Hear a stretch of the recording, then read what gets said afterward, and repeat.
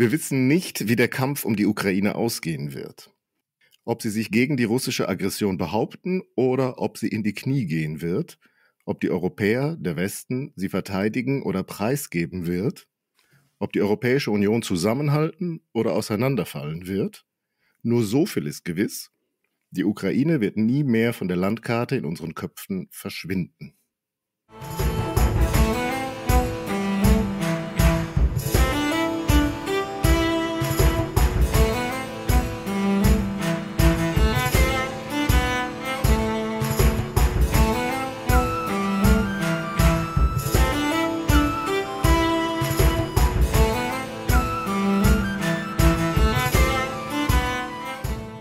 Hallo Solveig. Hallo Daniel.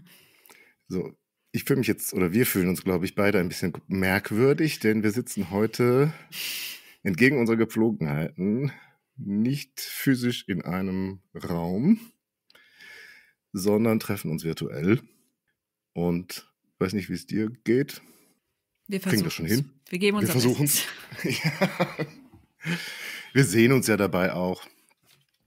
Aber ja, im Umkreis gibt es Corona und deswegen ist es besser, wenn wir das dieses Mal so machen. Und solltet ihr nach drei Folgen schon treue Hörer von Flurfunkgeschichte sein, dann habt ihr womöglich in der vergangenen Woche unseren Podcast vermisst. Oder sind es schon zwei? Schon also wenn es jetzt verloren. Wenn es online geht, sind es wahrscheinlich schon zwei Wochen. Dann sind es womöglich schon zwei Wochen, ja, die ihr auf eine Folge wartet. Ähm, wir haben ja zumindest äh, bei Facebook und Twitter und auf unserer Website kommuniziert. Wieso? Denn äh, wir hatten ja eigentlich zwei, wir haben sogar zwei Folgen noch mhm. vorbereitet seinerzeit um etwas Zeit zu haben, äh, uns noch weitere Themen zu überlegen. Und die Folgen haben wir jetzt aber irgendwie erstmal auf Eis geschoben. Wir dachten jetzt, angesichts dessen, was gerade in Europa passiert, ist es komisch, wenn wir jetzt einfach da so weiter senden, als wäre da alles normal. Und haben sozusagen ein Habsburger Liebespaar, das wir gerne sozusagen im Anschluss an Onkel Leopold hm. ausgestrahlt hätten jetzt erstmal auf die Wartebank geschoben, um uns einem aktuellen Thema zu widmen, nämlich dem, ja, dem Angriff Russlands auf die Ukraine und dem Krieg, der nun jetzt schon zwei Wochen tobt, sagen mitten in Europa. Und der Text, den ich jetzt zum Eingang gelesen habe, der stammt von Karl Schlögel. Ist dir Karl Schlögel schon begegnet? Tatsächlich nicht. Tatsächlich nicht, weil der ist nämlich momentan tatsächlich relativ präsent ähm, in Rundfunk und Fernsehen, so als äh, Osteuropa-Experte. Was schon bemerkenswert ist, weil er, wenn er hier schreibt, dass die Ukraine nie mehr von der Landkarte in unseren Köpfen verschwinden wird, dann geht es äh, in dem Buch, aus dem das stammt, von 2015 äh, erstmal vor allem darum, dass er so selbst reflektiert darüber, dass er mit ukrainischer Geschichte ähm, sich eigentlich wie die meisten sehr wenig beschäftigt hat. Und ähm, das sagt er nämlich auch noch dann wie folgt, etwas später. Ich musste feststellen, dass man sich ein Leben lang mit dem östlichen Europa, mit Russland und der Sowjetunion beschäftigt haben konnte, ohne eine genauere Kenntnis von der Ukraine besitzen zu müssen. Und ähm, ich erwähne das deshalb so ausführlich, weil ich bei diesem Mann studiert habe und das jetzt natürlich immer ganz interessiert äh, zuhöre und zuschaue, wenn er auftaucht mit äh, den Kommentaren zu dem Geschehen in der Ukraine. Aber das ist vielleicht auch ein Grund, warum es mir dann genauso geht. Mhm. Also wenn mein Professor sozusagen immer nur über Russland geredet hat und die Ukraine dann quasi so mitgemeint war, ähm, ja, dann geht es mir natürlich genauso und wahrscheinlich aber auch den meisten Leuten. Denn das ist natürlich so das, woran das da krankt in der Wahrnehmung, dass wir eigentlich immer so die Ukraine so quasi als Wurmfortsatz von Russland sehen. Und das hat natürlich was damit zu tun, dass wir, wir noch auf die Sowjetunion zurückgucken, als großes Ganzes, auf das Zarenreich dann im Zweifel auch noch. Und ähm, ja, auf den Zerfall der Sowjetunion, dass da sozusagen vielleicht auch Staaten auseinandergefallen sind, die doch eigentlich zusammengehören. Und das ist auch ungefähr so das, was der jetzige russische Präsident immer zu empfinden scheint, der sich offenbar in letzter Zeit äh, intensiv als Historiker betätigt und da seine ganz eigene ähm, Geschichtssicht sehr ausführlich darlegt. Und äh, ja, ich finde, wir müssen nicht unbedingt jetzt darauf eingehen, auf diese Geschichtsvorlesung, die da gehalten wurde, um den Angriff auf die Ukraine zu rechtfertigen. Und er hat übrigens ganz ähnliche Vorlesungen gehalten, auch 2014, 15, als es um die Krim, Krim ging.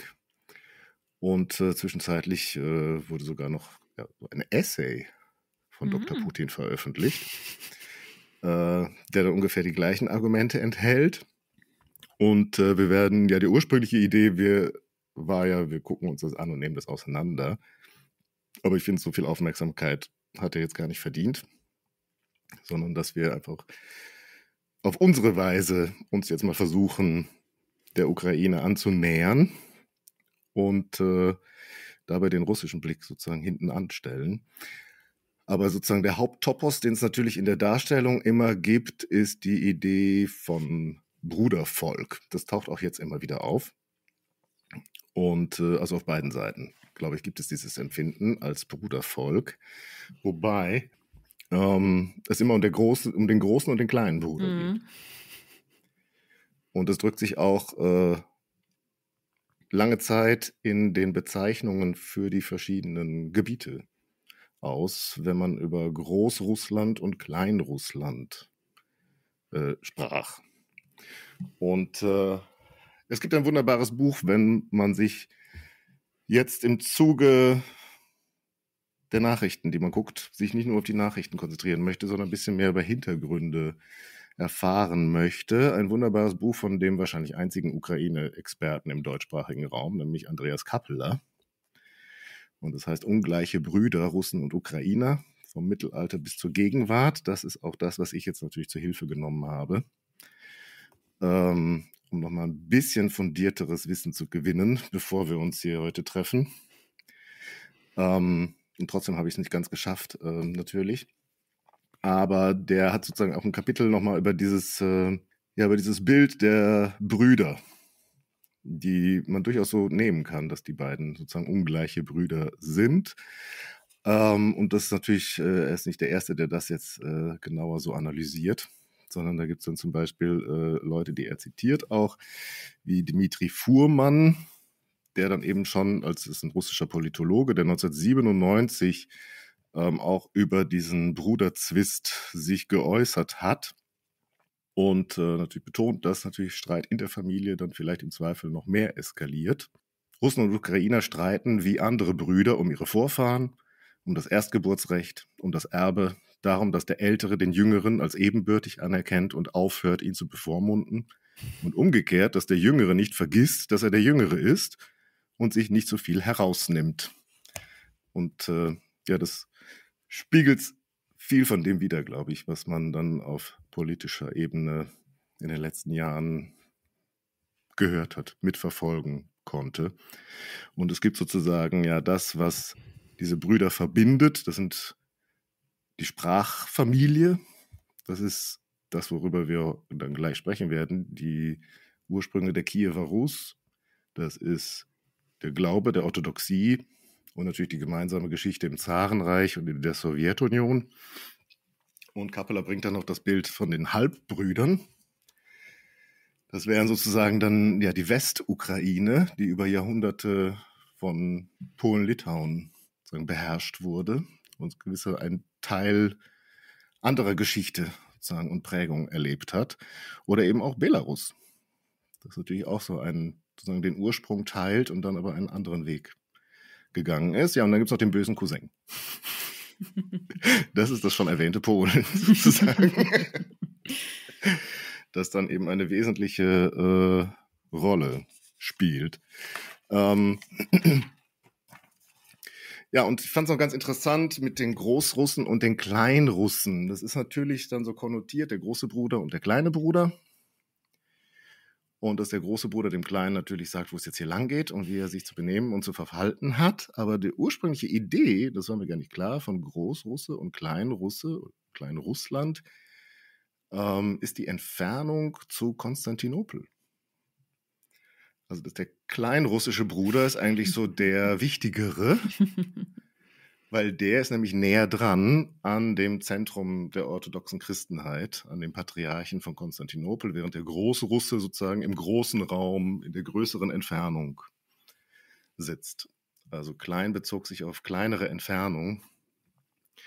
Und äh, ja, diese ähm, Bedeutung für Orthodoxie und Kirchensitz und den Glauben, der wird natürlich heute auch immer wieder eine große Rolle spielen. Und vielleicht muss man noch eine Sache klären. Sprachlich, das für uns ähm, oder für die meisten Leute in Deutschland wahrscheinlich verwirrend ist, ist das mit dieser Rus und Russland. Ähm, das schmeißen wir dann alles gerne in einen Topf. Aber das ähm, ja, sind sozusagen unterschiedliche Begriffe, die es im Russischen eben heute auch gibt. Zum Beispiel die Unterscheidung zwischen Ruski und Rassiski oder Ruskie und Rassianie. Also das eine sind sozusagen die ethnischen Russen ähm, und das andere sind die Einwohner Russlands. Also die, die zugehörig sind zu dem Herrschaftsbereich, wenn man so will. Ja, und deswegen gibt es auch die Rus, so wie die Kiewer Rus, und es gibt Rassia, also den russischen Staat, das Imperium, wenn man so will. Ja, also ähm, in, den, in der entsprechenden Literatur, deutschsprachigen Literatur über russische Geschichte wird es dann immer versucht auszudrücken mit Russisch und Russländisch. Also man sagt dann üblicherweise nicht die russische Föderation, wie das normalerweise übersetzt wird, sondern eben die russländische Föderation, um das so ein bisschen auszudrücken diesen Unterschied zwischen Ethnie und sozusagen, also wenn man so will, Nationalität und Staatsbürgerschaft.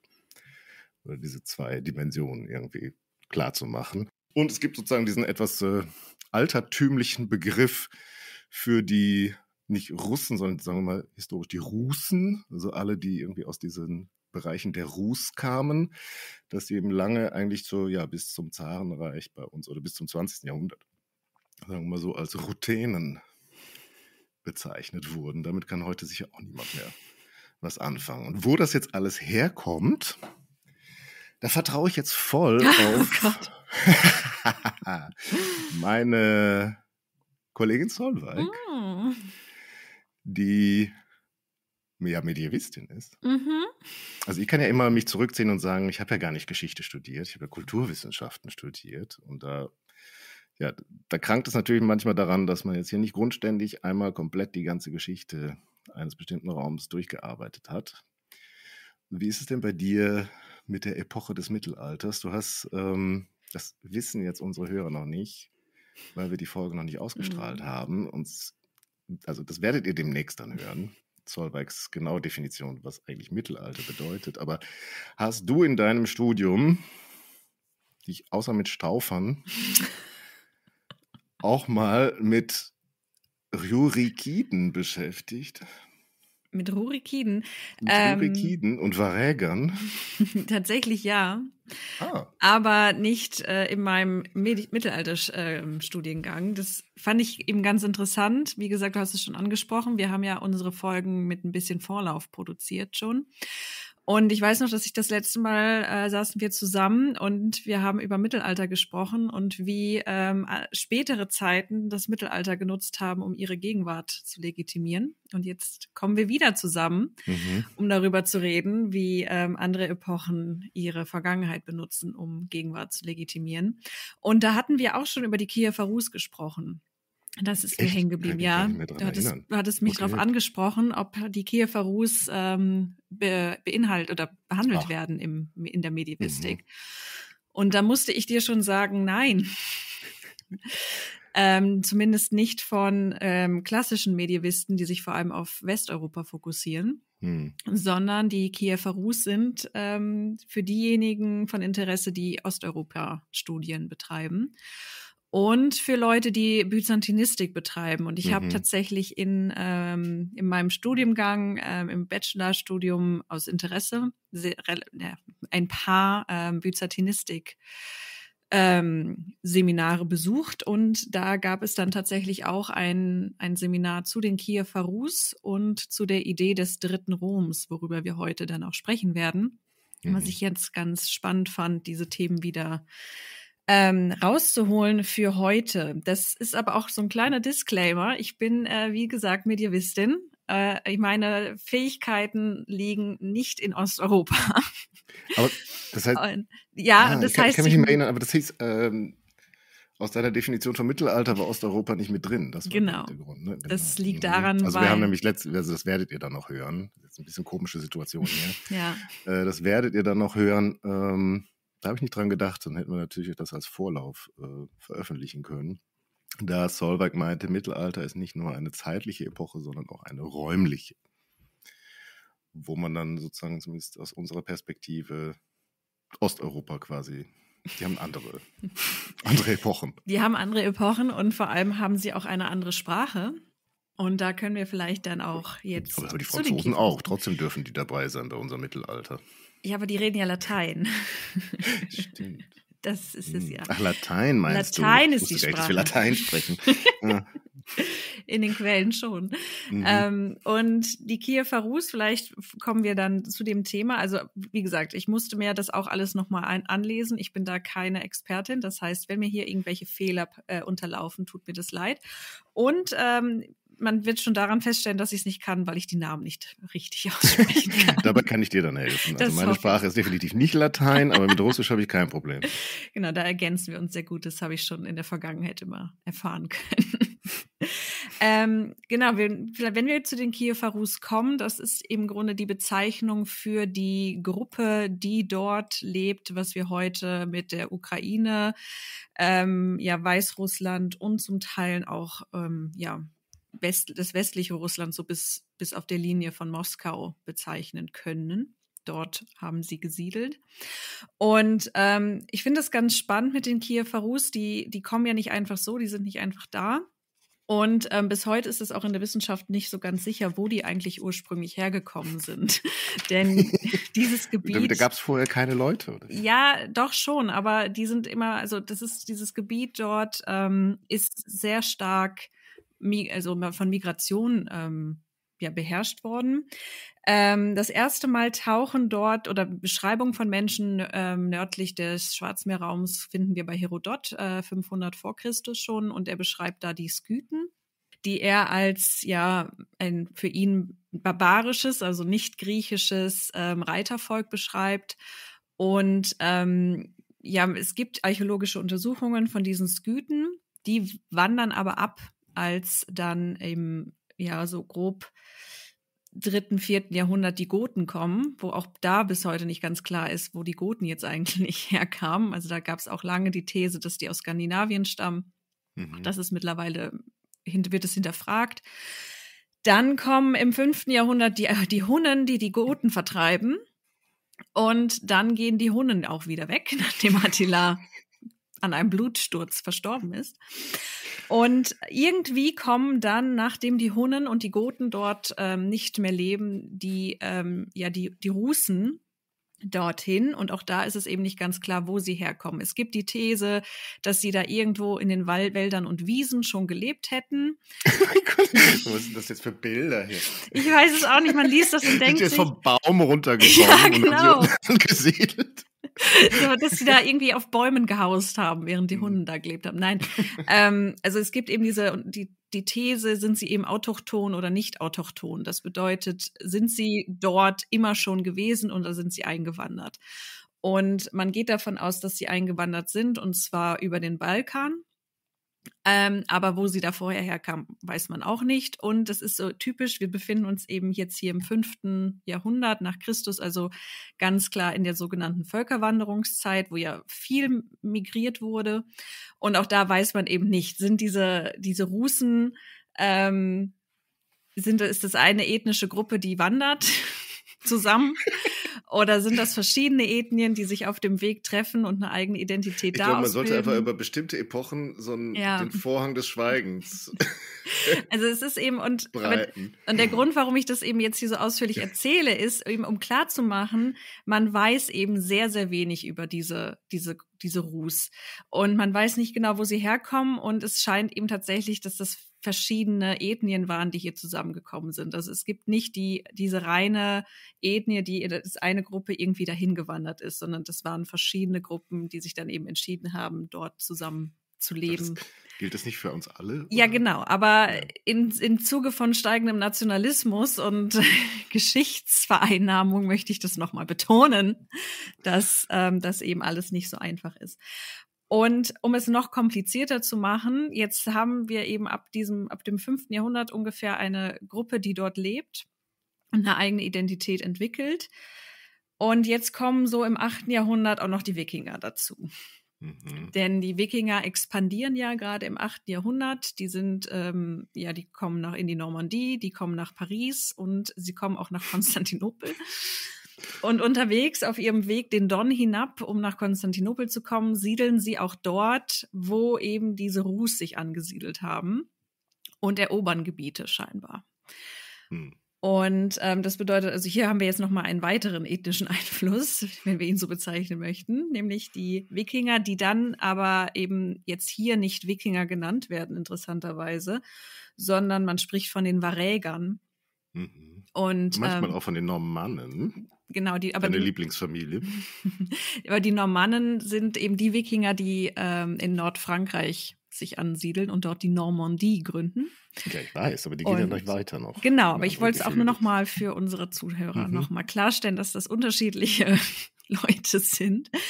Und bei diesen Varegern ist es eben ganz interessant, die schaffen es eben tatsächlich nach Konstantinopel und stellen dort auch die, ähm, die fast, also im Grunde die Leibwache der, der byzantinischen Kaiser. Das ist- sind dann immer so die Varegergarden. Also da hat man eben diesen Begriff auch. Mhm. Und jetzt kommen wir tatsächlich aus dieser grauen Vorzeit, wo ich von Jahrhunderten und vielleicht und eventuell spreche, tatsächlich das erste Mal, dass wir diese Kiewer Rus mit Namen und Daten fassen können.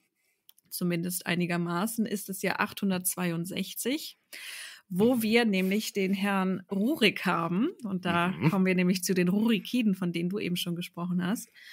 Und dieser Rurik hat zwei Brüder und stammt selbst von den Varägern ab. Und jetzt wird's schon wieder ein bisschen ungenauer, denn diese, diesen Rurik und seine Brüder, da gibt es nicht so richtig wirklich Hinweise, dass es ihn wirklich gegeben hat.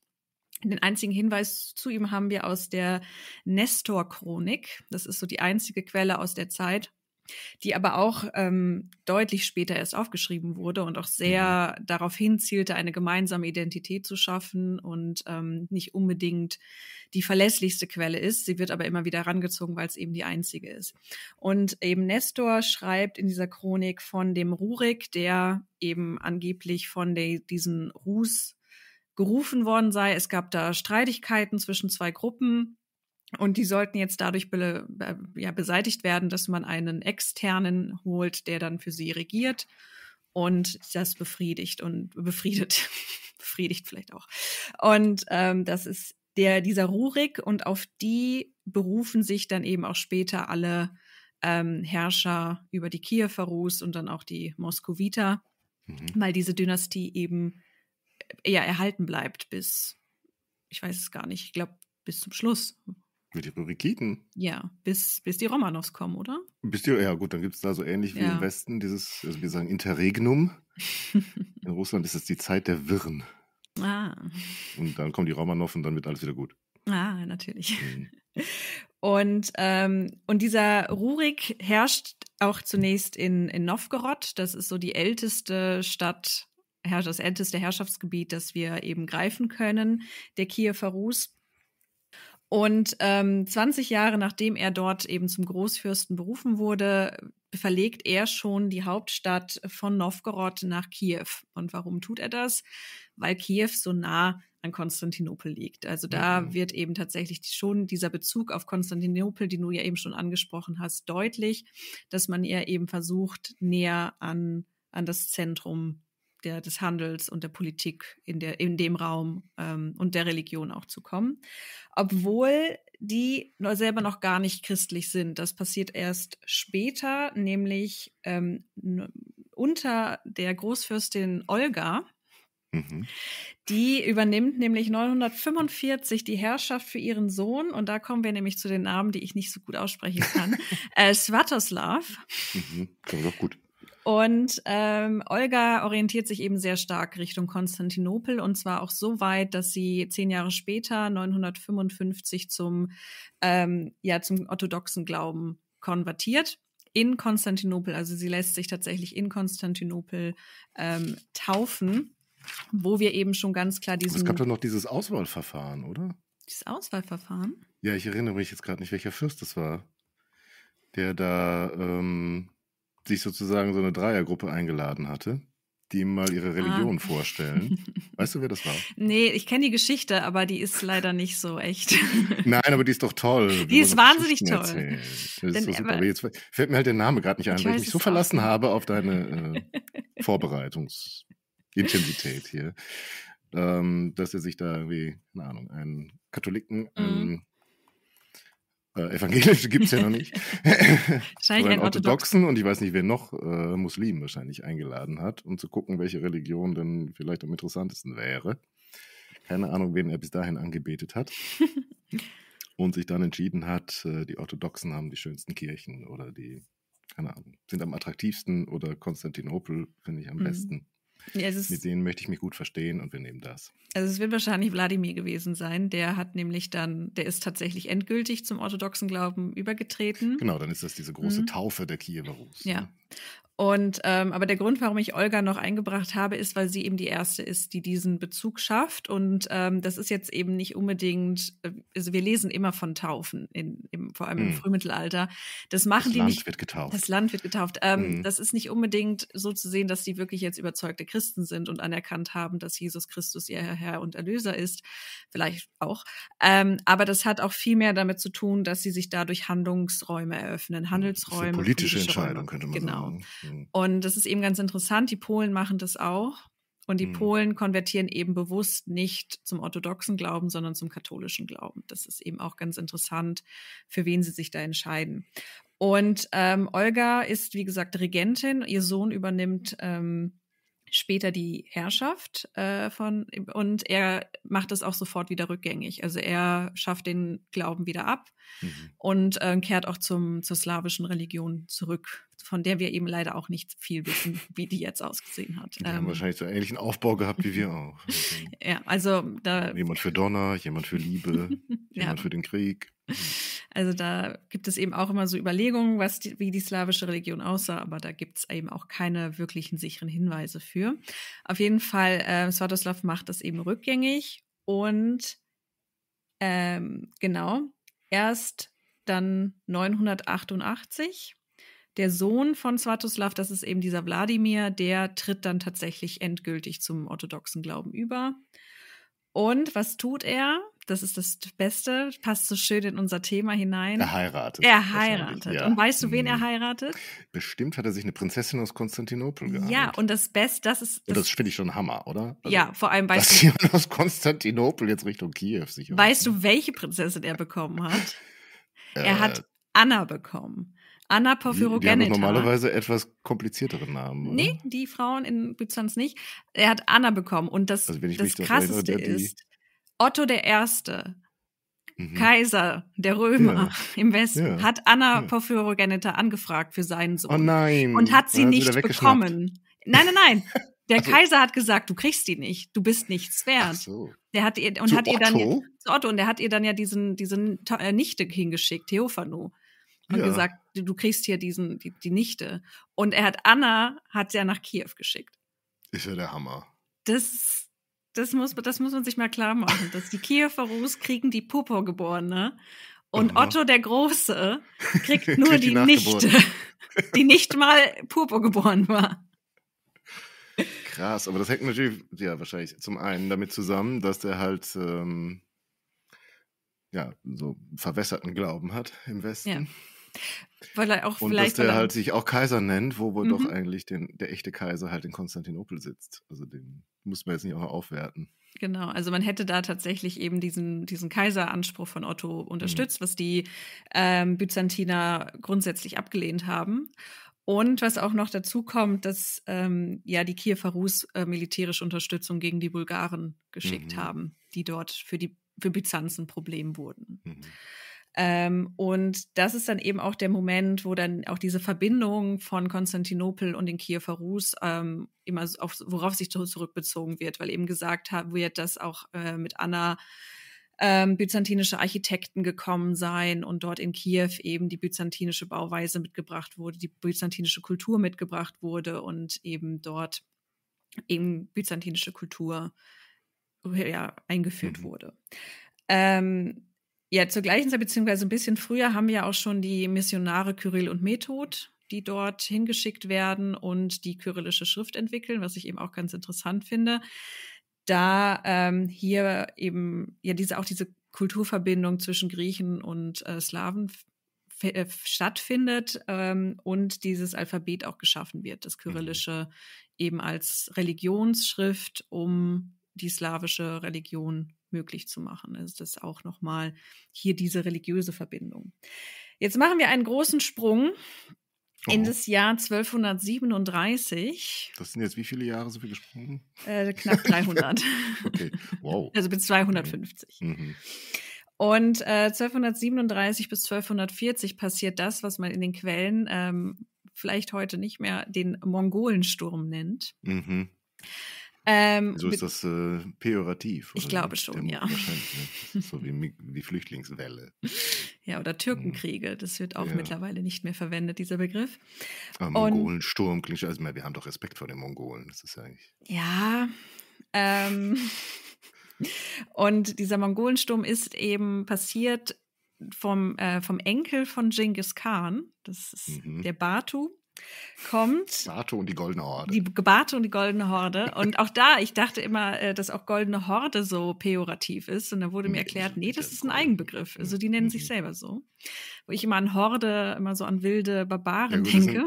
Das sind dann wahrscheinlich eben unsere Be und der Begriffswandel, der bei uns halt stattfindet. Im Wahrscheinlich. Laufe der Zeit. Aber, Ja, habe ich auch letztens gelernt, Horde kommt von dem äh, Jurt-Begriff, also von den Zelten, in denen die Mhm. Ah, ja. leben, also beziehungsweise dann Okay. auch ihre Kriegszelte. Das kommt Mhm. irgendwie, leitet sich davon ab.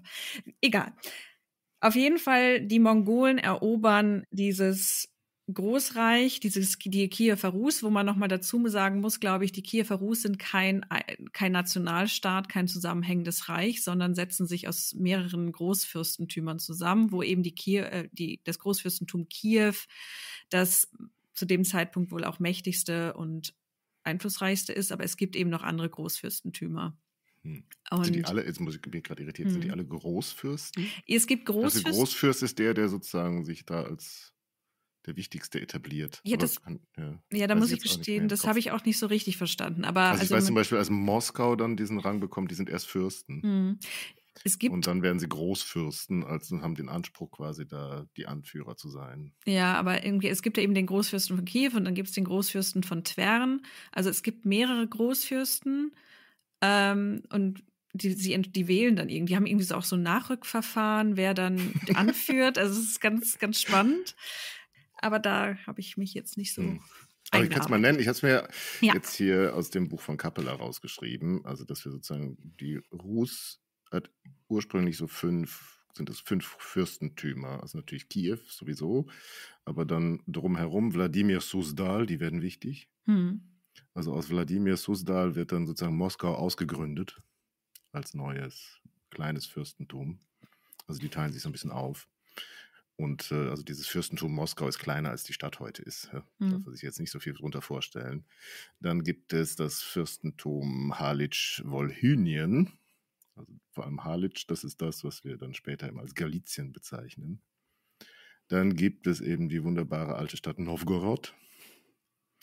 Dann gibt es Polotsk. Das ist, wenn mich nicht alles täuscht, heute in Belarus zu finden. Und Tschernihiv.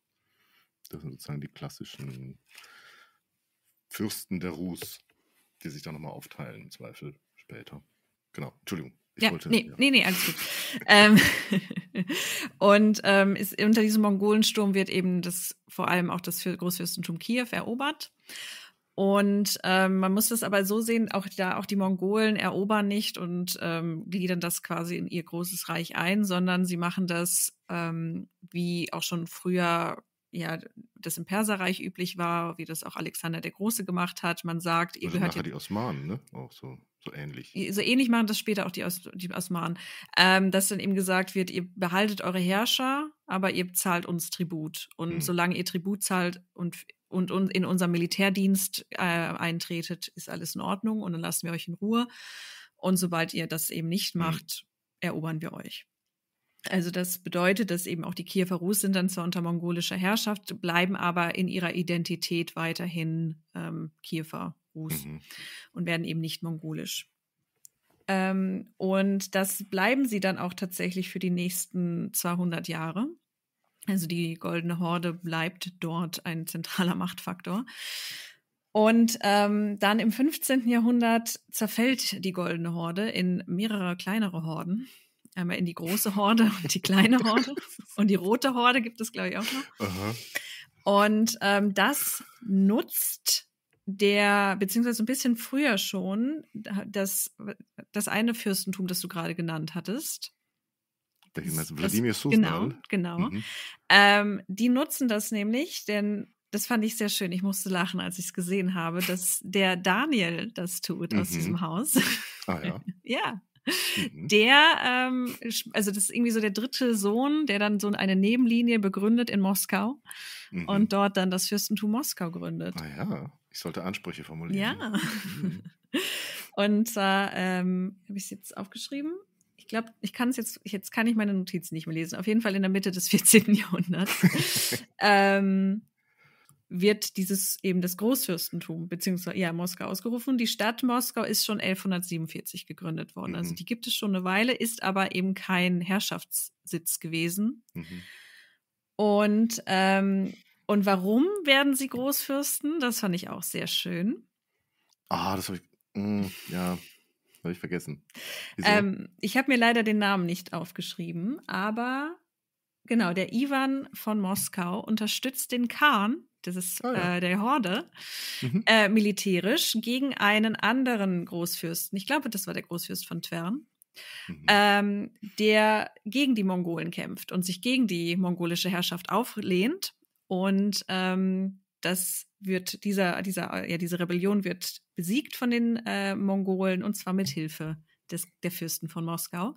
Mhm. Und zum, zur Belohnung für ihre militärische Treue erklärt der Khan jetzt eben, nachdem er Twern das Großfürstentum entzogen hat, Moskau zum Großfürstentum. ja. Und was macht Moskau? ähm, erstmal holen sie den Metropoliten aus Kiew nach Moskau. Ähm, Mhm. Das ist schon mal wichtig. Hier haben wir auch eine religiöse Verbindung, die später auch dann nochmal be betont werden wird. Und ähm, sie fangen einige Jahre später in den 1360er Jahren an, ähm, die sogenannte äh, russische Erde zu sammeln Mhm. indem sie nämlich jetzt selbst gegen den Khan militärisch ins Mhm. Feld ziehen.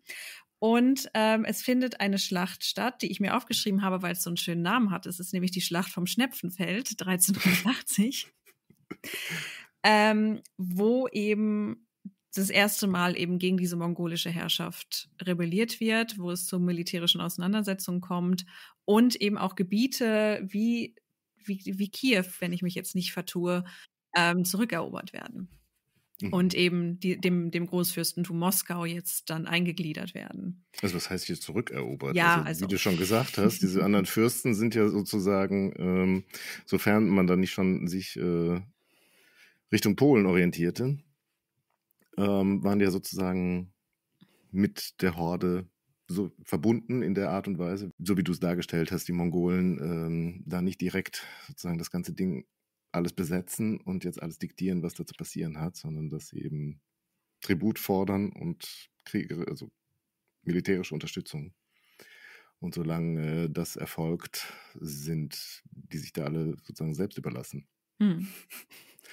Also das jetzt sozusagen zu befreien, ist dann auch eben so eine Darstellung, die Moskau dann später äh, befördert. dass genau. man sozusagen die russischen Lande von Tatarenjoch befreit hätte. Genau, deswegen steht hier in meiner Notizensammlung der russischen Erde auch in Anführungszeichen. Mhm.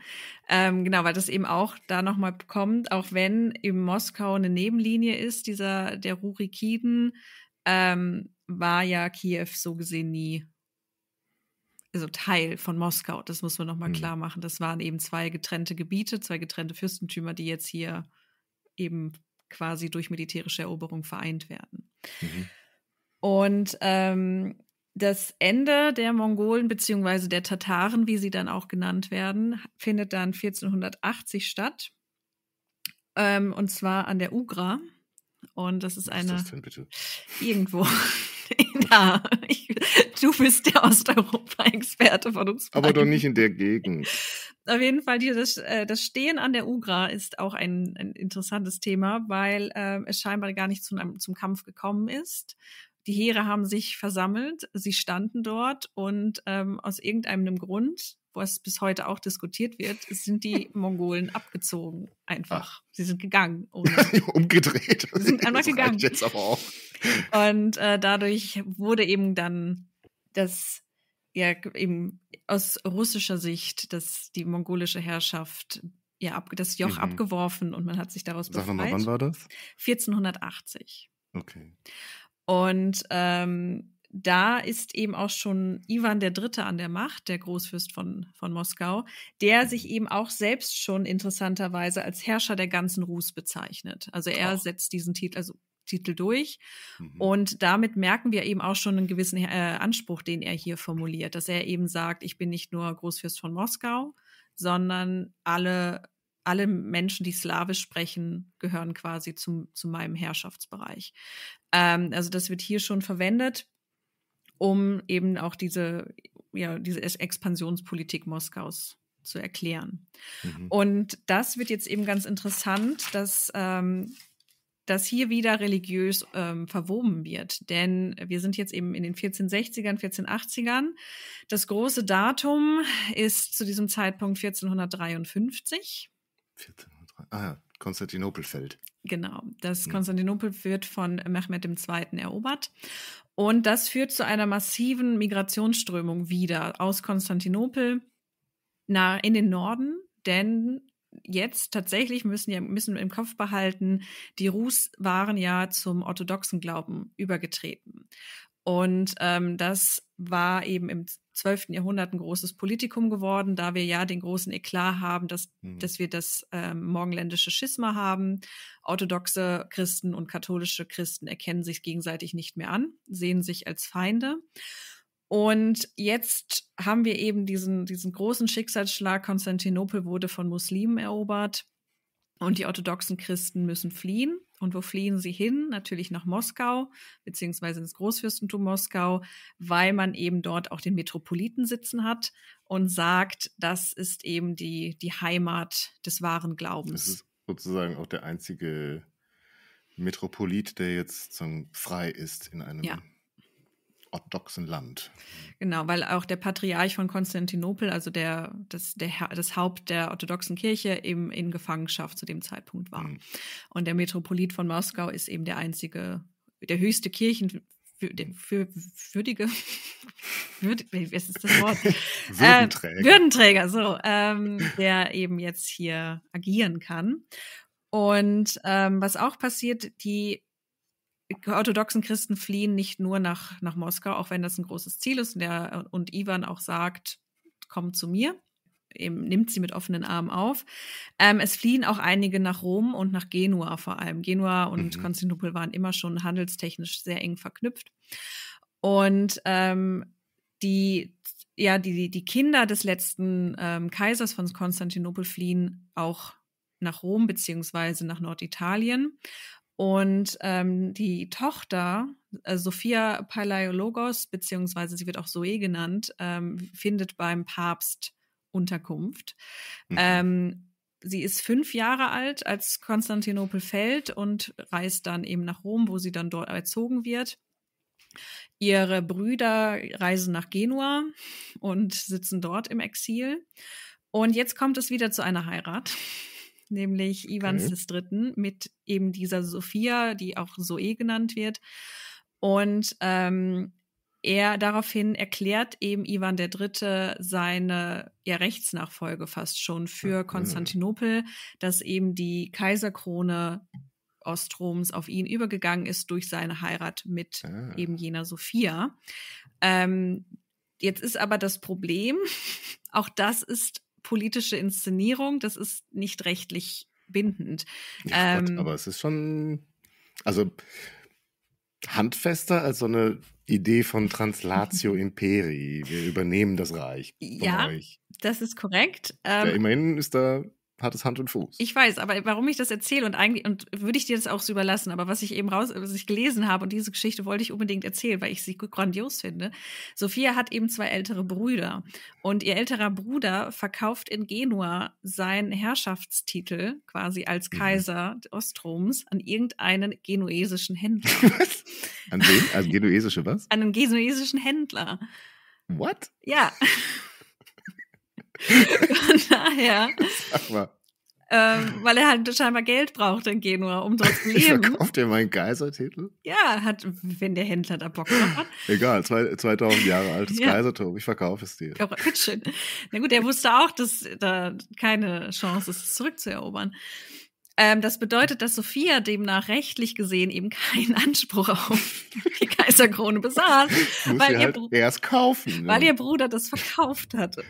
Aber wer hat das nachher gekauft? Ich weiß nicht, das hat er behalten. Das also wer ist denn jetzt Kaiser? ich weiß es nicht. Okay. Vielleicht liegt das noch irgendwo rum. An sich auch hm. Mehmed hat sich als neuer Kaiser inszeniert, von daher so, mhm. hat sich auch so in die Nachfolge von Konstantin dem Großen gesetzt. Mhm. Also ähm, und da er einfach das Recht der Eroberung hatte, glaube ich, waren es dann die Osmanen. Ähm, naja, also die sind ja nicht christlich, das funktioniert ja nicht. Das war offenbar nicht wichtig genug, um zu konvertieren. Das stimmt. Ähm, auf jeden Fall so kommt eben diese Idee des dritten Roms und das hatten wir, hatte ich ja eben schon am, äh, am Angang, also ne, beim Einstieg gesagt, was ich äh, eben wahnsinnig spannend finde, diese Idee. Also das dritte Rom bedeutet, man, das ist auch ganz klar aus der Orthodoxie erwachsen. Die Idee, ähm, das erste Rom ist das christliche Rom. Das ist gefallen, weil der Papst ist eben vom wahren Glauben abgekommen. Also der mhm. katholische Glaube ist eben ein Fehlglaube. Ähm, das zweite Rom war dann Konstantinopel, weil dort ja die griechisch-orthodoxe Kirche saß. Die ist gefallen durch die ähm, osmanische Eroberung und jetzt ist eben Moskau das dritte Rom, weil dort eben der orthodoxe Glaube noch gelebt wird. Wir haben den Metropoliten, der dann auch später zum Patriarchen erhoben wird. Und wir haben eben dann auch noch diese kulturelle, rechtliche Translatio durch diese Heirat mit, mit der Zoe Sophia. Hm. Also das ist eben so dieser Gedanke. Ähm, Ivan der Dritte nennt sich dann auch schon Zar, also er übernimmt diesen Titel ähm, Zar als Ab also in Anlehnung an eben Kaiser aus dem vom, vom aus, oströmischen Kaisertum. Mhm. Ähm, ist aber noch nicht gekrönt, also das macht er nicht, aber er hat diesen Titel schon und da verknüpfen sich jetzt eben diese Ideen äh, der, der, des orthodoxen Glaubens als der wahre Glauben, der geschützt werden muss, mit dieser imperialen Idee aus, aus Rom. Und ähm, wir hatten es eben schon, Ivan der Dritte nennt sich ja selbst schon als der Herr aller, aller Rus, nicht nur der Moskauer mhm. Rus. Und das wird jetzt eben verbunden, dass er eben alle Russen quasi unter sich vereint im Glauben und auch ja herrschaftlich. Also da kommt geht eben diese eigentlich nur religiöse Idee in, in, eine imperialistische Idee über, dass eben den, den Moskowitern es zustünde, über alle Menschen zu herrschen, die eben eine slawische Sprache sprechen und sich als Rus selbst wahrnehmen. Und ähm, sein Enkel, Ivan der Vierte, der auch den schönen Namen Ivan der Schreckliche erhalten hat, mhm. ähm, ist dann eben der erste, der sich dann auch zum Zar krönen lässt, 1547. Und das ist eben interessant, damit beginnt zum einen die Geschichte des russischen Zarenreiches, ähm, aber diese Krönung findet eben auch mit typischen oder nicht mit den mit den ähm, ja, Insignien der oströmischen Kaiser statt, aber sie sind inspiriert von den Insignien, mit denen sich die oströmischen Kaiser haben krönen lassen. Und auch der Doppeladler, also das, was wir auch heute ähm, in, auf russischen Wappen noch sehen, ähm, wird eben hier übernommen von dem Doppeladler aus Ostrom. Den haben sie dort getragen im Wappen und das wird jetzt übernommen für ähm, das russische Zarentum. Und damit ist jetzt eben auch diese Was Idee. österreichischen Freunde ja auch benutzt. haben. Genau. Es ist nicht so ähm, eigen. In Albanien wird er auch benutzt. Mhm. Warum eigentlich? Das weiß ich nicht tatsächlich. Auch der Konstantinopol Ich glaube. Konstantinopolische oder ein Äh, anderer. Ich, ich glaube, das hat auch damit zu tun, Und aber Serbien doch auch noch, ne? ja, also ich, ich wusste es mal, aber ich habe es leider vergessen, warum dort auch. Aber es ist, der Doppeladler wird eben dort auch immer benutzt mit diesem Idee, diesem Rückgriff auf diese imperiale Idee. Mhm. Und das passiert jetzt hier auch in, in Russland mit der Gründung des Zarenreiches. Und das ist dann eben tatsächlich auch der Schritt, wo wir eben diese Idee, diese imperialistische Idee ausgelebt Mhm. sehen. Was ich aber ganz interessant finde, jetzt haben wir auch wieder nur eigentlich russische Geschichte besprochen. Ja, ne? Sind wir irgendwie Und ähm, weggekommen von aber der Region. die Region, wie gesagt, ist, man hat diesen Anspruch, wir, wir herrschen über alle Rus, aber die Ukraine, beziehungsweise große Gebiete und auch Kiew zu dem Zeitpunkt gehören gar nicht zum, zum Kaisertum, also zum Mhm. russischen Zarenreich, sondern die gehören wem anders, nämlich eigentlich Litauen. Denn die haben schon den Mongolensturm da im 13. Jahrhundert genutzt, um gewisse Gebiete selber zu erobern. Mhm. Und ähm, der, der Großteil der heutigen Ukraine gehörte das hat zu dem Zeitpunkt zur Gründung des Zarenreiches nicht zum Zarenreich. Mhm. Was ich eben ganz interessant finde, auch mit diesem ähm, historischen Anspruch, ja, die Ukraine war ja immer schon Teil von uns. Nee, war sie nicht. Also sowieso, wenn man jetzt die Grenzen der heutigen Ukraine anguckt, dann wird es ja richtig kompliziert, wenn man Mhm. sozusagen alle Teile davon jetzt nochmal historisch zurückführt. Also ein großer Teil über der Epoche, der, von der wir jetzt sprechen, sind da eh noch die Tataren. Mhm. Also die ganze Südukraine und vor allem die Krim sind ja tatarisch, also sozusagen die europäisierten Mongolen und die sich natürlich den, äh, den Herrschern des Osmanischen Reiches unterstellt haben und nahe fühlen. Ähm, und dann gibt es eben da Litauen, das der größte Player ist in dieser Hood. das man sich immer hat man meist natürlich auch so nicht auf dem Schirm, wenn man Mhm. jetzt osteuropäische Geschichte sich nicht so angeguckt hat. Ähm, und das heute nur so ein kleines, kleines Land auf der, im Baltikum ähm, vor Augen hat. Nein, das ist es nicht. Also es war ein, eine Großmacht in dieser Epoche, m, die dann ja zusammengeht mit dem Königreich Polen, das deutlich kleiner war als das Großfürstentum Litauen äh, und sich dann aber beide verbinden und da eben ja die Großmacht schlechthin eigentlich sind und dann eben vor allem für Moskau auch zur Bedrohung äh, werden und zu dem zum bösen Gegenspieler aus deren Sicht. ja, ich fand es jetzt interessant, also äh, du sprachst von Moskau als dem dritten Rom, ich glaube, das haben wir alle verstanden und ähm, von dem Jahr 1547, was war da noch passiert? Da hat, äh, ist Ivan der Vierte gekrönt worden. Ja, ja, genau. Also Ivan der Vierte, der Schreckliche, der, ähm, wenn man das jetzt, also wenn man es über, man kann es auch übersetzen mit der Gestrenge.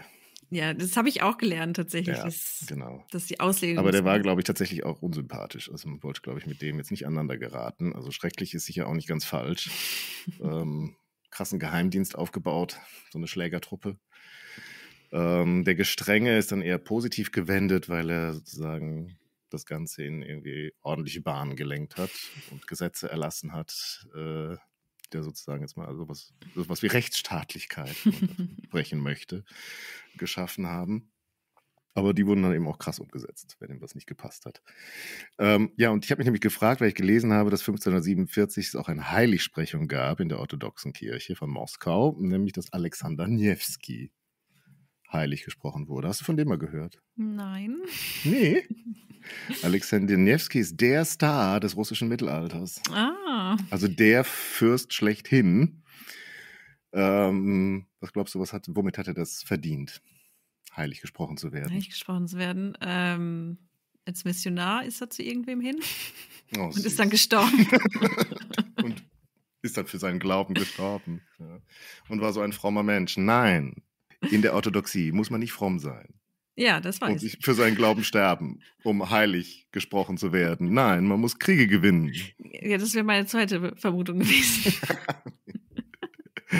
Alexander äh, Niewski war, äh, der hat seine Karriere in Novgorod angefangen, Fürst von Novgorod.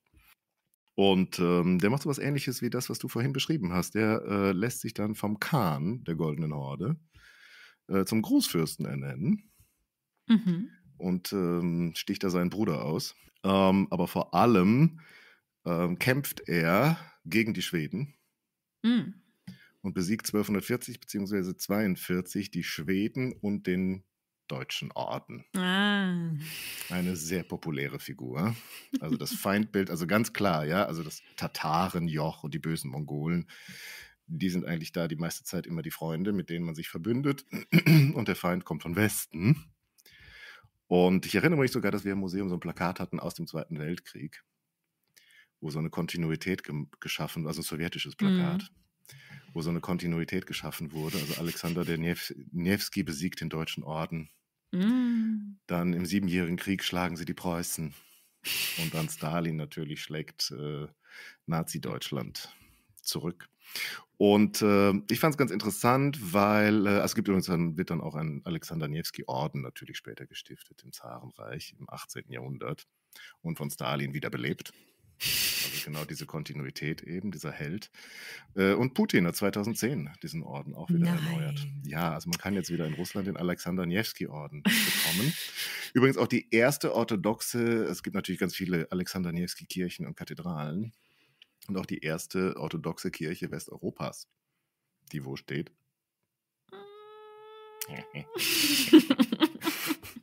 In Potsdam. ah. Ähm, da, wo die Alexandrowka ist, dieses russische Fake-Dorf aus dem Mm. 18. Jahrhundert, äh, 19. Jahrhundert. Und daneben wurde dann eben eine kleine Alexander Niewski-Kirche errichtet. Ja. Äh, das nur so nebenbei, weil wir hier in Berlin sitzen, also für die und wahrscheinlich die meiste Hörerschaft sich äh, derzeit auch noch hier in Berlin und der Nähe äh, aufhält. Also da kann man mal hinpilgern. Äh, ich fand es ganz interessant, weil äh, Kappeler in seinem Buch hier über die ungleichen Brüder zwei Fürsten quasi vergleicht und so gegenüberstellt für die Entwicklung äh, dieser südlichen Rus, also sprich teils der, Teil der Ukraine heute, und eben der nördlichen Rus mit dem Zentrum in Moskau.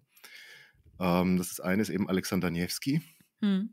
sozusagen für die russische Entwicklung, der die Feinde von außen abhält und die Rus schützt vor, dem, vor den Bösen. Und der andere ist Wladimir. Nein. Oh. Daniel Ah.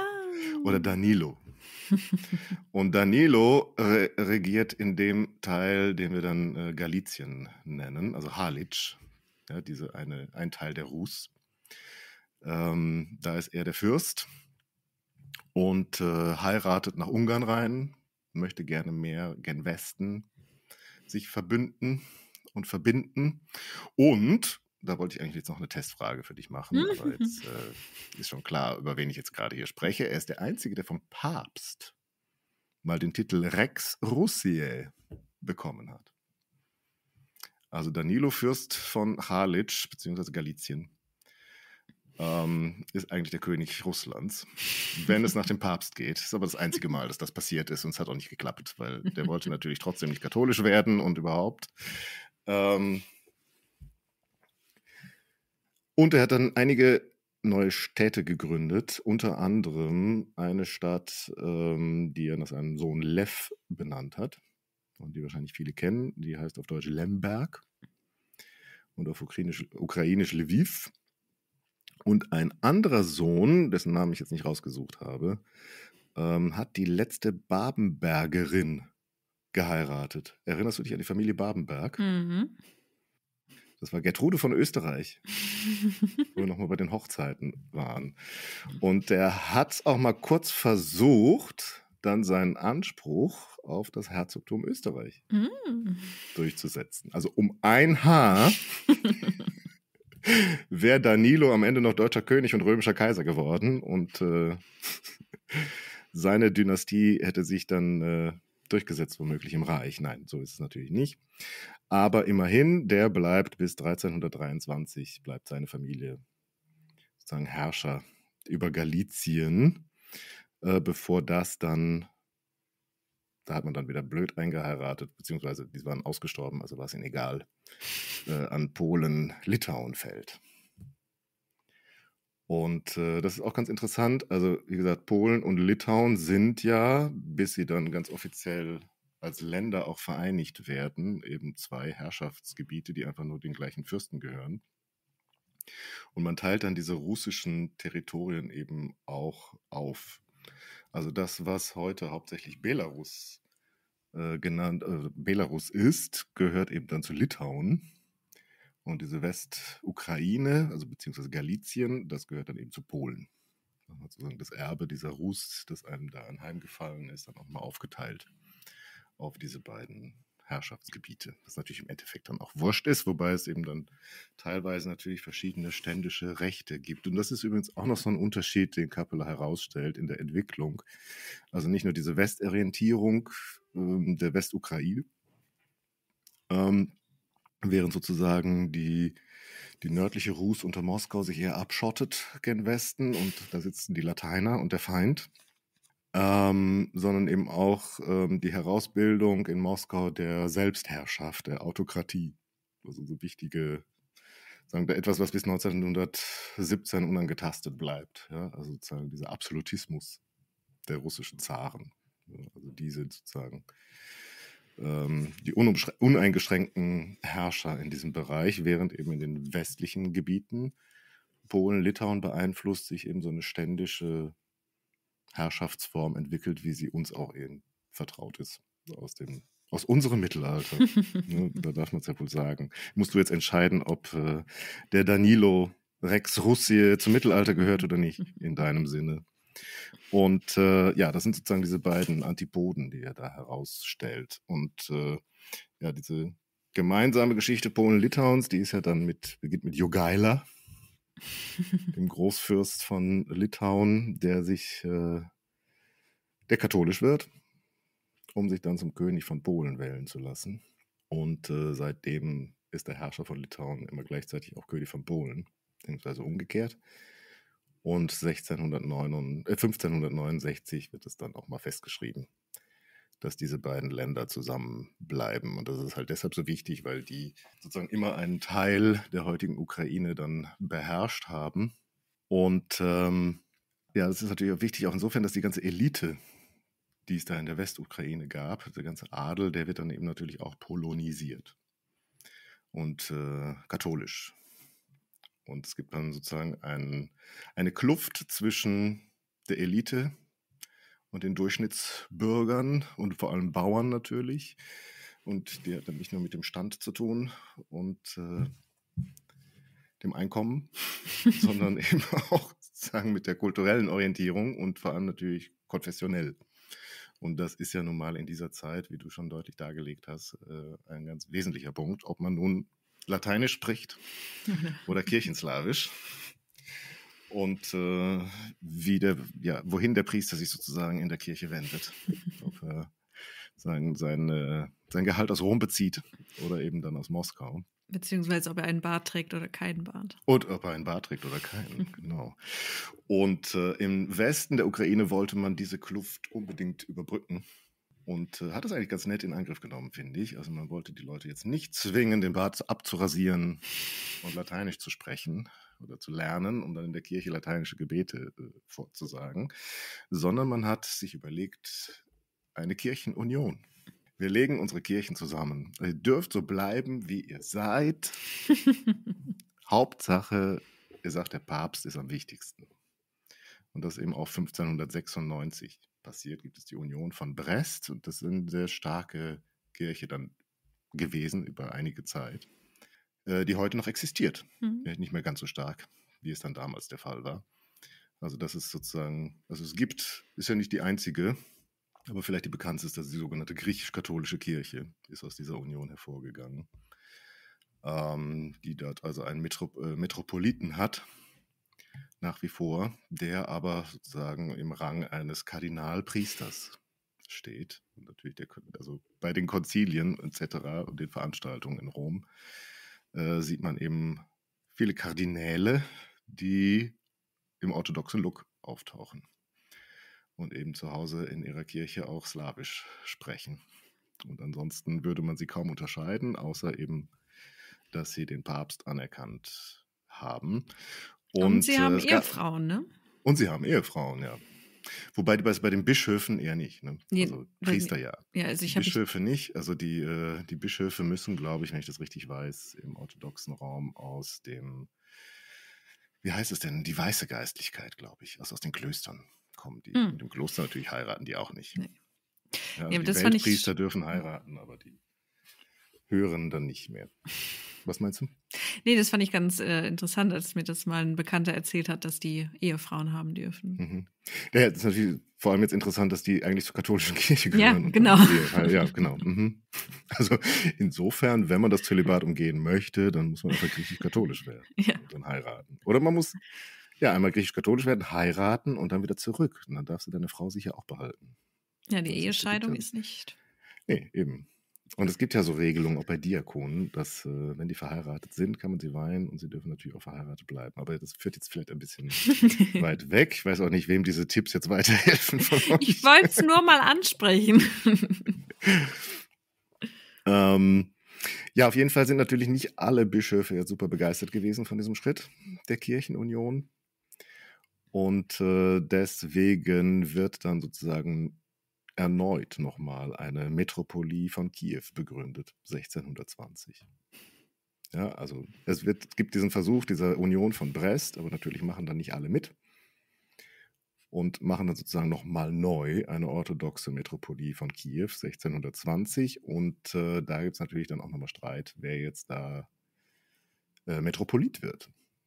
Weil das finden natürlich die Polen jetzt wieder nicht so toll, dass ihre Union da jetzt irgendwie nicht gewünscht wird und dass da in Absprache mit dem Zaren beziehungsweise dem Patriarchen in Moskau jetzt irgendwelche Metropoliten ankommen in Kiew, die die Polen dann natürlich eigentlich nicht haben wollen, ja, weil die jetzt irgendwie dann so einen Kontakt nach Moskau haben, der da nicht gewünscht ist. Und äh, das wird natürlich nochmal wichtig, wenn es darum geht, äh, wie dieser Teil der Ukraine dann plötzlich doch in die russische Einflusssphäre gerät. Hm. Und äh, dass dieser Metropolit, der dann da kommt, äh, natürlich den Zaren dann nochmal versichert, dass man doch Brüder sei und äh, seinen Schutz bräuchte. So, es gibt aber noch eine ganz andere Gruppe, die wichtig ist, auch für das heutige Nationalverständnis der Ukrainer und äh, die ein wichtiger Player werden in dieser Region äh, und sich auch so als Beschützer der Orthodoxen empfinden. Und das sind die Kosaken. Hm. Welches Bild hast du von einem Kosaken vor Augen? Und ich meine nicht das, was ich dir vorhin geschrieben habe. Wobei das ich muss, muss, gestehen, dass das dem schon sehr nahe kommt. Also bei den Kosaken habe ich natürlich immer die typische Kosakenuniform im, im Kopf. Die oh, wie sieht dann, die denn aus? Da bin ich wieder nicht so firm. Ja, beziehungsweise das sind immer diese, diese langen ähm, Uniformmäntel, also lang, die dann, mhm. also diese längeren Jacken und mhm. diese Fellmützen, also diese Hüte, die sie tragen und und ausladende Schnauzer. Genau, diese großen mhm. Bärte und die mhm. Musik, äh, diese etwas folkloristische. Genau, ich kenne auch die Don Kosaken Chöre, die so früher durch die Bundesrepublik getingelt ja. sind. der russisch, also es waren ja eher russische Volkslieder, ja. was die so gesungen haben. Also es waren die Don-Kosaken. Und tatsächlich gibt es eben auch diese Unterscheidung in Don-Kosaken und die Dnieper-Kosaken. Hm. Also die Don-Kosaken gehören eher Richtung Russland in dem moderneren Sinne und die Dnieper-Kosaken sind dann sozusagen die Ukrainer.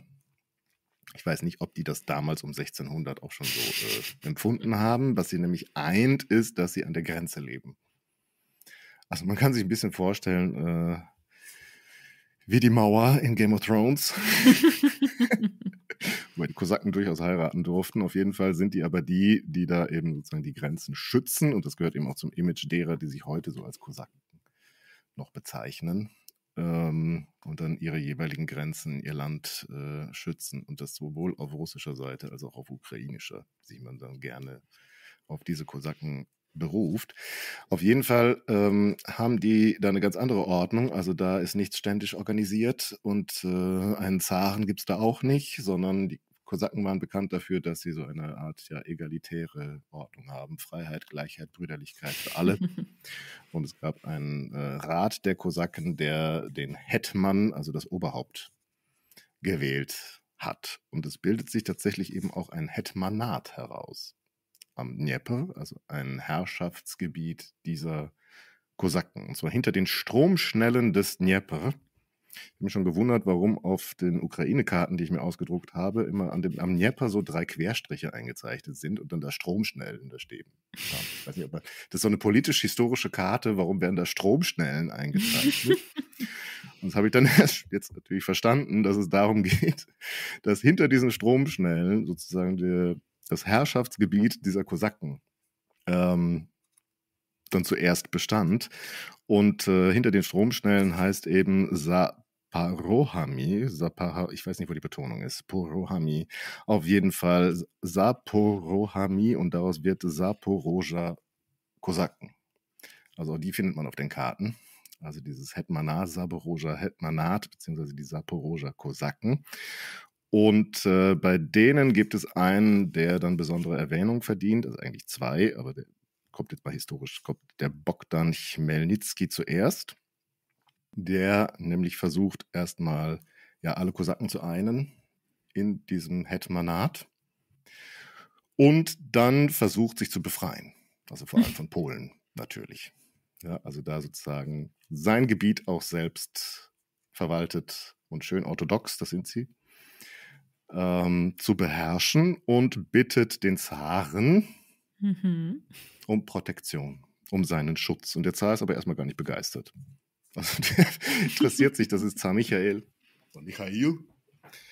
Ähm, der ja, sich da nicht so besonders für interessiert, weil für den sind alle, die da unten wohnen, sind verkappte Lateiner und Litauer und gar keine echten Christen. Also wer es von denen schafft, irgendwie Richtung Moskau zu kommen, ähm, der wird äh, auf jeden Fall nochmal getauft. Also nicht nur die Unierten, sondern sogar äh, die Orthodoxen tauft man nochmal, weil das kann ja da unten nichts Echtes sein. also irgendwie so, so brüderlich ging es da gar nicht zu, zu dem Zeitpunkt. Ähm, und er ist der Sohn von Michail, also Alexei Michailowitsch. Daher kommen ja immer diese zweiten Namen, äh, also der Vatersname. Äh, Zar Alexei Michailowitsch, der geht darauf ein, dass da unten Leute leben, die seinen Schutz möchten. Der ist aber generell auch irgendwie freundlicher und äh, der gibt dieses Abschotten nach Westen auf und äh, interessiert sich mehr für das, was da so an humanistischen Ideen aus dem Westen kommt und äh, sucht sich Gelehrte, um jetzt irgendwie den Moskauen auch mal so ein bisschen Kultur beizubringen. Das ist nämlich bis zu denen halt nicht vorgedrungen. Also da ging es ja vor allem darum, irgendwie die abzuwehren. Jetzt plötzlich Alexei Michailowitsch möchte gerne Latein lernen und Griechisch, beziehungsweise, ich glaube nicht, dass er das selber lernen wollte, aber dass so ein paar Moskauer mal ein bisschen humanistische Bildung genießen. Und woher kommen diese Gelehrten? Was glaubst du? Von den Kosaken? Nee, also ja gut, also von den Kosaken. Also die Kosaken, die wir vor Augen haben, das sind ja eher so lebenslustige Grenzer. Äh, weiß nicht, ob die Latein und Griechisch können, aber aus dem ja, Gebiet der Kosaken, nämlich aus Kiew. Hm. Ähm, denn in Kiew gibt es da schon eine ganze Weile ein Kollegium, wo man durchaus Griechisch beherrscht. Da hatte man ja schon eben Kleinrussland, ist ja näher dran, kleinere Entfernung zu Konstantinopel. Also das Wissen von da hat man da aufgenommen, studiert, weitergetragen. Und man holt sich also die Leute, die äh, auch Kirchenslawisch nicht nur runterbeten, sondern auch verstehen und schreiben können. Die holt man nach Moskau und die dann am besten sogar noch das griechische Original kennen. Denn darum geht es in der Zeit äh, tatsächlich, dass man das Gefühl bekommen hat, oder man ist sich sogar ziemlich sicher, dass diese kirchenslawische Tradition manchmal mehr als nur haarscharf am griechischen Original vorbeiging wenn es um Liturgie geht und Bibelübersetzung und dergleichen.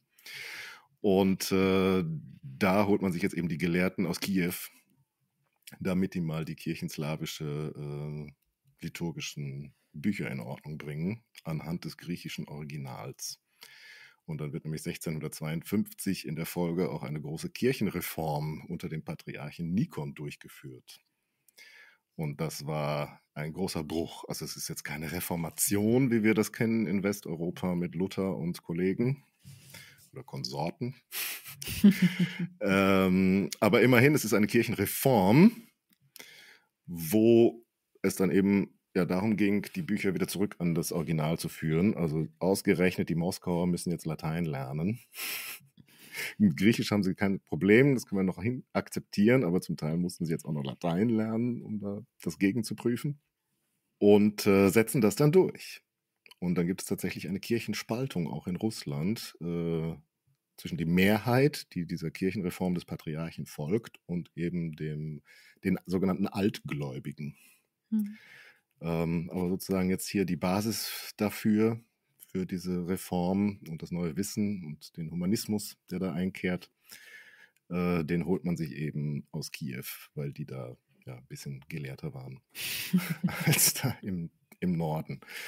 Ja, aber gleichzeitig äh, bitten eben die Kosaken auch den Zaren nochmal um Schutz. Und diesmal hört er zu, also wegen, ja, der Alexei Michailowitsch, der hat eben nicht so ein Problem mit den Lateinern und angeblich äh, diesen den schlechten Menschen, die da leben, äh, so wie sein Vater, sondern der, der hat ja jetzt gemerkt, die haben es drauf, die brauchen wir. Und die Kosaken sowieso, dass die da die Grenze, äh, dass die uns da die Osmanen vom Hals halten und so weiter. Also im Januar 1654 gibt, wird ein Treueeid geschworen in Pere, Perejaslav. Den Ort kenne ich ehrlich gesagt nie, auch nicht so wirklich. Ähm, da wird eine Vereinbarung geschlossen und die Kosaken schwören dem Zaren ihre Treue. Dafür dürfen sie Privilegien behalten, also ihre kosakischen Freiheiten und die Art, wie sie leben, sofern sie natürlich Kriegsdienst leisten, denn darauf kam es dem Zaren an. Da waren die, die waren kampferprobt und die wollte er gerne auf seiner Seite haben. Ähm, und dann merkt man allerdings auch, dass die schon eine unterschiedliche Vorstellung davon hatten, über den Inhalt und die Konsequenzen dieser Vereinbarung. Denn die Kosaken hatten erwartet, dass die Gesandtschaft des Zaren dann bitte auch einen Eid leistet. Und die haben natürlich etwas irritiert geguckt und gesagt, Entschuldigung, aber der Vasall leistet einen Eid, nicht der Herrscher. Und dann äh, sind sie wieder abgedampft Richtung Moskau. Und die Kosaken saßen da jetzt und äh, hatten irgendwie das Gefühl, hier ist was schiefgelaufen. Aber erstmal funktioniert das alles so, wie man sich das vorgestellt hatte. Also die Kosaken dürfen ihre Freiheiten ähm, bewahren und der Zar begründet gegenüber seinen Leuten in Moskau, die ja gerade noch mit seinem Vater gesagt haben, diese, diese Typen, diese verkappten Litauer wollen wir hier nicht haben. Äh, denen verkauft er das jetzt vor allem als Schutz der Orthodoxen in dieser Region. Ja? Also wir müssen unsere Gläubigen schützen. Das ist jetzt nichts von wegen äh, Heimholung der Rus oder so. Oder das ist unser Erbe, das wir jetzt hier beanspruchen, sondern es geht darum, dass er eben reagiert auf das Schreiben der Kosaken und äh, das begründet, dass er sie als Orthodoxe schützen muss. Und seitdem hat er tatsächlich auch immer ganz bewusst diesen Titel äh, geführt, dass er Zar der Großen und der Kleinen Rus sei. Und später kommt die weiße Rus dann noch dazu. Ähm, über die können wir ja auch vielleicht dann noch ein andermal sprechen. Ich finde, Belarus hat es auch verdient, eine Folge zu bekommen. Ähm, ja, und äh, man kann sich schon vorstellen, dass äh, Polen-Litauen das natürlich nicht so hinnimmt, dass da jetzt irgendwelche Kosaken ihren eigenen Staat unter dem Schutz des Zaren äh, begründen. Also es kommt zu einem polnisch-russischen Krieg.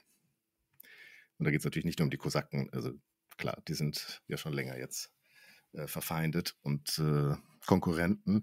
Dieser polnisch-russische Krieg, der beginnt sozusagen in dem Moment, wo die Kosaken diesen Treueeid schwören, 1654 und dauert dann an bis 1667 ein Waffenstillstand geschlossen wird. Und einen Friedensvertrag gibt es aber erst 1686. Also man könnte sagen, ein 34-jähriger Krieg der da geführt wird, aber sicher nicht ganz so intensiv, wie das bei unserem der Fall war und aus ganz anderen Gründen nochmal. Äh, aber das, äh, im Ergebnis wird dieses Hetmanat geteilt. Mal wieder. Hm. Wird sozusagen da unten geteilt. Und äh, der eine Teil, der östliche Teil, Ähm, das ist dann die sogenannte linksufrige Ukraine. Die kommt eben zu Russland. Also ist ein extra Hetmanat. Und der andere Hetman der rechtsufrigen Ukraine, das ist dann im Westen der Teil, der geht wieder zurück an Polen. Und die machen alles rückgängig, was da zwischendurch an äh, Neuerungen passiert ist, seitdem sie sich freigekämpft hatten. Also die werden wieder schön integriert und polonisiert und katholiziert, wie auch immer. Ähm, und viele, die das nicht aushalten, gehen dann weiter nach Osten, migrieren. Richtung Osten, Richtung Freiheit, Richtung Steppe, wo es noch Platz gibt. Und das ist die sogenannte Sloboda-Ukraine, die da ähm, aufgebaut wird, also so genannt wird. Ja. Und die erste große Festung, die da errichtet wird und dann natürlich auch mit der Entwicklung einer Stadt, ist 1654 Kharkiv. Das ist die Stadt, die als erstes in den Nachrichten kam, also mhm. nach Kiew sozusagen und die zweitgrößte Stadt der Ukraine, ich glaube auch die zweite Millionenstadt, äh, die da jetzt als erstes und umfassendsten angegriffen wurde. Und das ist aber eben auch dann an der Grenze zu dem sogenannten Donbass. Also zu der Region, die seit 2014, 15 so umkämpft ist. Und wo wir uns einfach jetzt in den letzten Jahren daran gewöhnt hatten, dass das so ist und das dann verdrängt haben. Aber da war sozusagen die ganze Zeit der Krieg äh, vor den Toren äh, dieser Städte. Ähm ja, aber ich denke, wir sind jetzt schon wieder eine Weile dran hier heute. Mhm hatten uns eigentlich auch vorher schon überlegt, dass wir ja hier um 1700 das Ganze beschließen und dem Rest dann nochmal eine eigene Folge widmen. Es ist ja auch ein bisschen vermessen, jetzt hier äh, Jahrhunderte Geschichte in eine Folge zu pressen. und äh, ja, vermutlich wird uns das alles ja auch noch länger beschäftigen. Und selbst sollte dieser Krieg irgendwie in den nächsten Tagen beendet werden, ein Waffenstillstand geschlossen werden oder nicht. Also die Ukraine, wie Schlögel das gesagt hat, wird, glaube ich, auf unserer mentalen Landkarte jetzt äh, verankert bleiben für lange Zeit, hoffentlich. Und ähm, ja, ich möchte aber abschließen mit etwas, was gerade virulent ist in den sozialen Medien. Ähm, denn natürlich, wie gesagt, schon erwähnt, ähm, gibt es eine starke Identifikation in der Ukraine mit diesen Kosaken, die so frei und gleich angeblich gelebt haben. Auf jeden Fall natürlich im Vergleich zu dem, wie es sonst in den russischen äh, Regionen zuging unter dem Zaren. Und ähm, es gab, während hier noch äh, polnisch-russischer Krieg lief, aber schon Waffenstillstand war, hat Russland sich auch schon mit den Osmanen angelegt. Und da haben die Kosaken natürlich an der Grenze da unten zur Südukraine, also Schwarzmeerküste, die noch tatarisch war, und der Krim natürlich eine wichtige Rolle gespielt. Und ähm, ich sprach aber auch davon, es gab ja jetzt zwei Hetmanate. Eins, äh, das unter polnischer Oberherrschaft stand und eins eben unter dem Schutz des Zaren. Und der polnische Hetman, der hat sich mit den Osmanen zusammengetan, in der Hoffnung, dass er von denen dann das ganze Hetmanat bekommt. Wäre natürlich die im Osten äh, dann mit dem Zaren gegen die Osmanen gekämpft haben. Und ähm, ja, angeblich hat der türkische Sultan einen Brief geschrieben an die Kosaken, dass sie sich doch bitte, also die rechtsufrigen Kosaken, dass sie sich doch bitte auch unterwerfen sollen, also die sogenannten Saporoger Kosaken, also die hinter den Stromschnellen, ihr erinnert euch. Und äh, das könnt ihr bei Wikipedia dann nachlesen, wenn ihr mal nachschaut. Ähm, der Artikel lautet, die Saporoger Kosaken schreiben dem türkischen Sultan einen Brief. Das ist nämlich der Titel eines wunderbaren Gemäldes meines absoluten Lieblingsmalers, Ilya Repin. Das ist so realistische Kunst, Ende 19. Jahrhundert, wo Russland natürlich auch wieder Krieg immer noch mit den Osmanen führt und einmal kurz vor Istanbul tatsächlich steht. Und das ist sicher hier mit ein Anlass für Repin gewesen, dieses Gemälde, ein monumentales Gemälde, äh, zu schaffen, so zweimal dreieinhalb Meter. Das ist das, was ich dir geschickt habe. Mhm. Ähm, also nämlich erst bekommen die Kosaken einen Brief vom Sultan. Den kann ich auch einmal vorlesen. Ähm, das ist so überliefert. Ne? Ich glaube, der Brief liegt irgendwo rum, dass man sagen könnte, der hat das wirklich so geschrieben. Aber so ist es eben überliefert worden und der Sultan schreibt.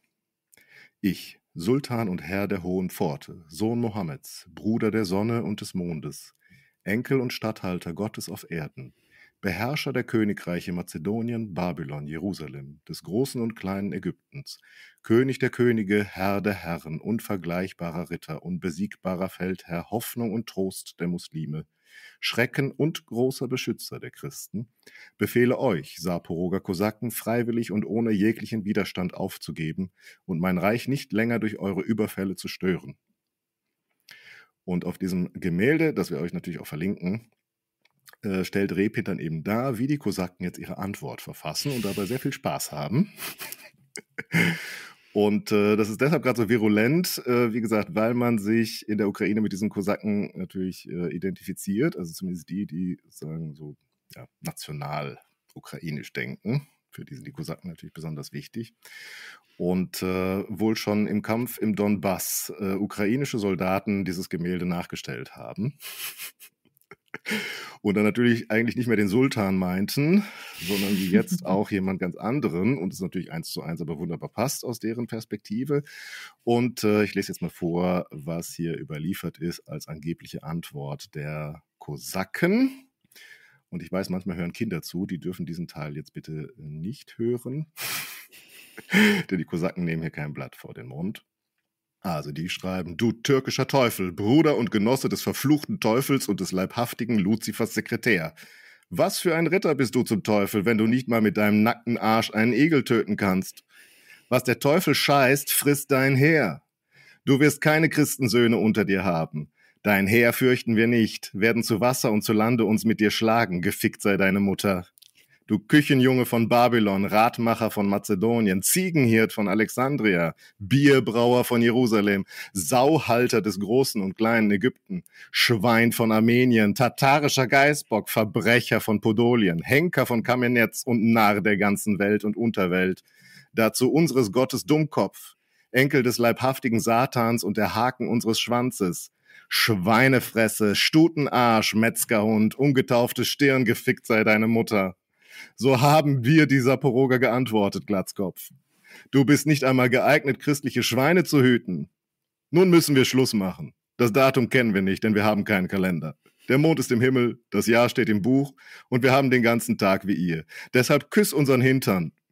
Unterschrieben der Lagerataman Ivan Sirko, mitsamt dem ganzen Lager der Saporoga Kosaken. So, das ist die Szene, die da wunderbar auf diesem Bild dargestellt ist.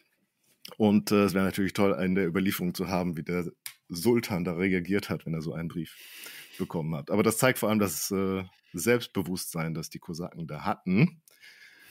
Und wenn wir das nächste Mal sprechen, ähm, ja, starten wir damit, was davon am Ende übrig geblieben ist. Denn, wie gesagt, es gab da ein Missverständnis bei dem Abschluss dieser Vereinbarung zwischen dem Zaren und den Kosaken. Und äh, ja, es gibt ja noch einige Jahrhunderte vor uns. Und äh, darüber würden wir euch gerne erzählen. Wir können ja noch überlegen, ob wir zwischendrin, damit es nicht nur um die Krisenregion, aktuelle Krisenregion Europas geht, dann doch nochmal ähm, was Schönes zur Ablenkung senden. Könnt uns ja mal schreiben, was ihr lieber hättet. Sagen nahtlos weiter mit der ukrainischen Geschichte oder doch nochmal ein bisschen Habsburg dazwischen oder das Mittelalter hätten wir mhm. auch noch im Angebot. Überhaupt, äh, wir freuen uns, wenn wir von euch hören, dass wir wissen, wir reden nicht nur miteinander, Solveig und ich, was wir natürlich sehr gerne tun. Ich freue mich sehr, dich zu sehen, auch wenn es heute nur auf dem Bildschirm ist. Aber wir freuen uns natürlich auch, wenn ihr uns schreibt und äh, kommentiert, was ihr hier von uns gehört habt. Oder womöglich nochmal Nachfragen habt, weil wir irgendwie zu schnell über irgendwas drüber gegangen sind oder es vielleicht für uns selber heute nicht ganz alles hundertprozentig klar war, was wir da erzählen. ähm, dann schreibt uns doch einfach an kontakt flurfunk-geschichte.de oder bei Twitter oder Facebook oder auf unserer Website einen Kommentar unter dieser Folge. Wir freuen uns auf jeden Fall, wenn wir von euch hören und werden dann natürlich auch sofort drauf eingehen. Solveig. Daniel. Ich freue mich sehr. Ich fühle mich ein bisschen ja. wieder, ähm, also erstens finde ich es erschreckend, wie wenig ich erinnere von dem, was ich im Studium doch irgendwie schon mal gelernt habe, glaube ich. ähm, und andererseits, ja, fühle ich mich so ein bisschen wie in, in einem Grundseminar. wo so ein paar Basics wieder aufholen äh, muss. Und finde es eigentlich aber auch total spannend wieder. Also ich erinnere mich gerade, warum ich das studiert habe. Das ist irgendwie, da ist viel los ja, in dieser Region. Das stimmt. Ja. Ähm, das macht es aber auch ein bisschen unübersichtlich. Ja, ähm, tatsächlich auch trotz der sehr traurigen ähm, Grundlage oder aus dem sehr traurigen Grund, weshalb wir überhaupt dieses Thema jetzt machen, äh, muss ich sagen, dass es auch doch eben spannend ist, mal Themen zu besprechen, die nicht unbedingt mein mein Brot sind, äh, sondern sich auch mal in The Gebiete einzuarbeiten, denen man sich nicht so auskennt und da auch mal den Blick zu erweitern, ist dann auch sehr schön für mich. Auch wenn das ich freut mich. Hm. Weil ich mit manchen Dingen vielleicht doch ein bisschen durcheinander komme.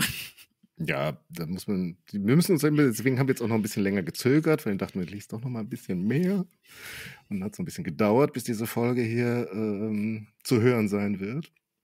Aber was soll's? Wir müssen ja nicht so tun, als wären wir jetzt für alles Spezialisten. Das ist dann eher peinlich für mich. Aber wie gesagt, ich bin ja kein Historiker. Ich bin ja nur Kulturwissenschaftler. Ich muss das nicht alles wissen. Ähm, nur so die großen Entwicklungen. Ich bin Papistin. Genau. Aber jetzt öffnen wir auch unseren Horizont. Ja. Und holen sozusagen auch die Gelehrten aus Kiew, die uns mal ein bisschen was beibringen. so wie die Moskauer das damals getan haben. Und wir hoffen, dass äh, euch auch diese Sonderfolge gefallen hat. Und äh, ja, sind gespannt auf eure Reaktionen.